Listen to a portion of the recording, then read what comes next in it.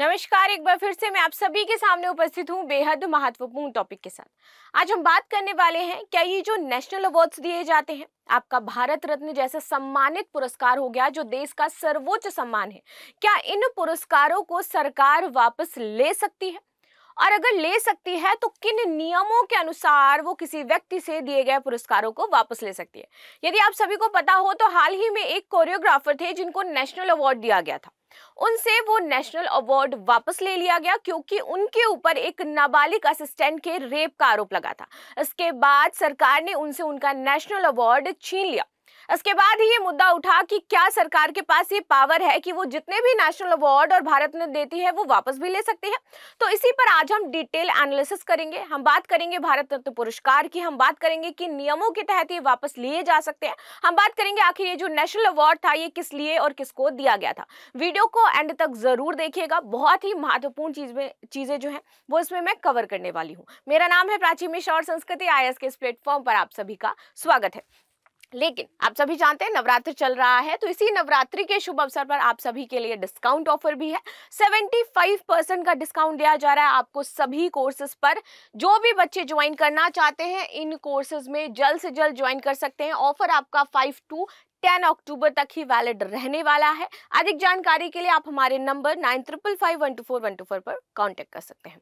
चलिए आ जाते हैं, अपनी न्यूज़ देख लेते हैं। न्यूज़ क्या है? कोरियोग्राफर से वापस लिया गया नेशनल अवार्ड। देखिए, ये कोई छोटा मोटा अवार्ड तो नहीं है, ये नेशनल अवार्ड है। और जब ये किसी से वापस लिया जाता है तो उसके करियर के लिए बहुत बड़ी बात हो जाती है। और ये क्या है? नेशनल अवार्ड है, जैसे मैंने बताया। तो इसी वजह से ये बहुत ज़्यादा चर्चा में आ गया। क्या भारत रत्न जैसे अवार्ड भी छीने जा सकते हैं? क्या इसके नियम है? चलिए जान लेते हैं। तो आप सभी ने देखा होगा हाल ही में स्त्री टू मूवी आई थी श्रद्धा कपूर एंड उनके साथ और भी जो आ, एक्टर वगैरह थे। तो इसमें कोरियोग्राफर जानी मास्टर इनका नाम है जॉनी मास्टर ठीक है? इनको ये अवार्ड दिया गया था इनकी कोरियोग्राफी के लिए। आपने वो गाना सुना होगा काटी रात में। उसकी जो कोरियोग्राफी है वो इन्होंने ही करी थी। इसके लिए इनको क्या है नेशनल अवार्ड से सम्मानित किया गया।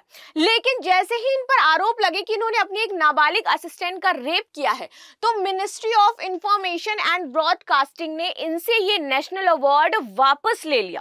अब आगे आ जाते हैं भाई, ये तो ये चीज़ें रही। मामला क्या था? मामला मैंने आपको बता दिया कि जिसकी वजह से अवार्ड जॉनी मास्टर के बारे में थोड़ा सा जान लेते हैं। जॉनी मास्टर को केंद्र सरकार की ओर से नेशनल अवार्ड साल 2022 में रिलीज़ हुई।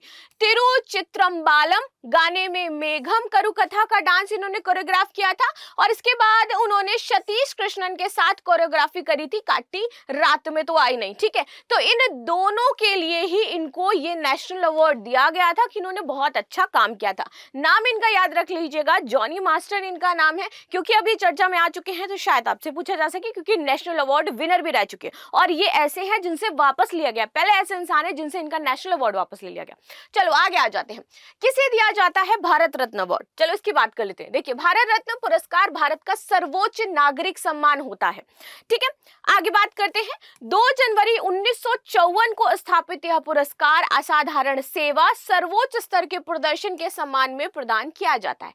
अब किन किन क्षेत्रों में दिया जाता है आपका ये? तो जिन्होंने भी कला, साहित्य, विज्ञान, सार्वजनिक सेवा जैसे विभिन्न क्षेत्रों में राष्ट्र के लिए असाधारण योगदान दिए हैं, उनको ये पुरस्कार दिया जाता था। लेकिन 2011 में इसमें एक श्रेणी और ऐड कर दी गई। कैसे? क्योंकि अभी तक तो सिर्फ़ कला, साहित्य, विज्ञान और सार्वजनिक सेवा के लिए दिया जाता था, लेकिन 2011 में इसके मापदंड जो थे, उनका विस्तार किया गया और मानव प्रयास के किसी भी क्षेत्र को इसमें शामिल कर दिया गया। यानी कि किसी व्यक्ति ने यदि मानव प्रयास में मानव के उत्थान में किसी भी क्षेत्र में बहुत अच्छा उत्कृष्ट कार्य किया है, जो कि सराहनीय है तो उसको ये अवार्ड दिया जाएगा, भले वो किसी भी क्षेत्र से हो। ठीक है तो यहाँ पर इसके क्षेत्र का विस्तार 2011 में किया गया था, ये याद रखना। आगे आ जाते हैं। पुरस्कार के लिए जो सिफारिशें होती हैं, वो प्रधानमंत्री भेजता है किसको? राष्ट्रपति को। यानी कि जो सिफारिश कौन करेगा? प्रधानमंत्री करेगा और उसके बाद राष्ट्रपति गैस पे साइन करके उनको दे देगा पुरस्कार। आगे आते हैं। भारत रत्न 2024 की बात करें तो आपको पता होगा इस बार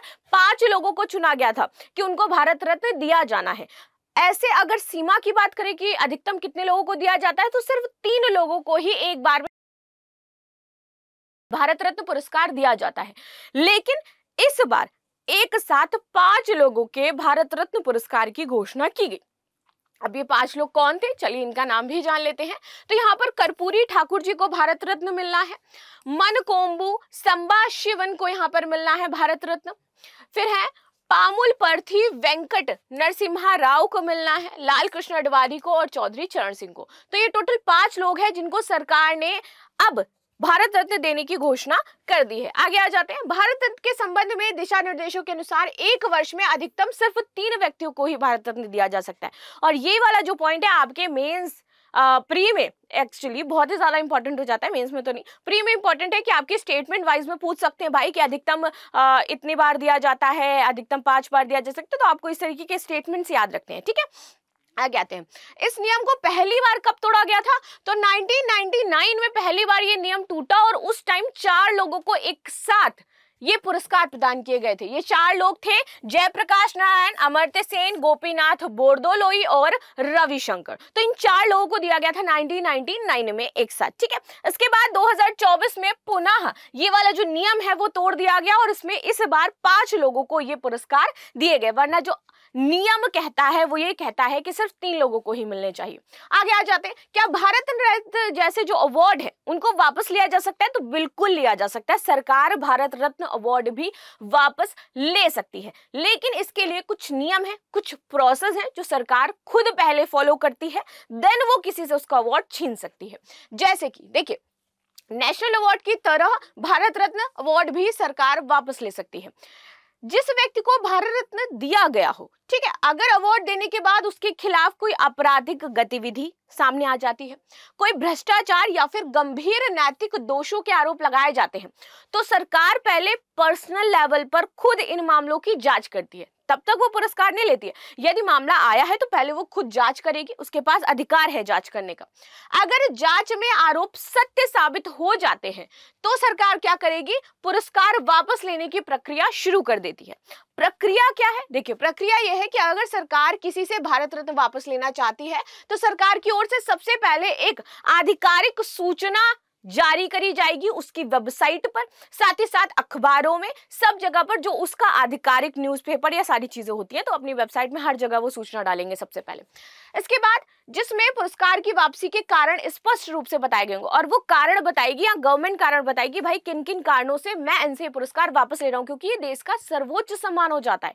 ठीक ये प्रक्रिया पारदर्शिता और उत्तरदायित्व सुनिश्चित करने के लिए ज़रूरी है। भारत रत्न जैसे पुरस्कार की वापसी केवल कानूनी दृष्टिकोण से नहीं, बल्कि नैतिक दृष्टिकोण से भी महत्वपूर्ण हो जाती है और इसीलिए यहाँ पर ये सारी प्रोसेस गवर्नमेंट फॉलो करती है कि उसके ऊपर कोई भी ऐसा आरोप ना लगाया जाए। ठीक है, क्योंकि वो भारत रत्न सम्मान है भाई। आगे आ जाते हैं।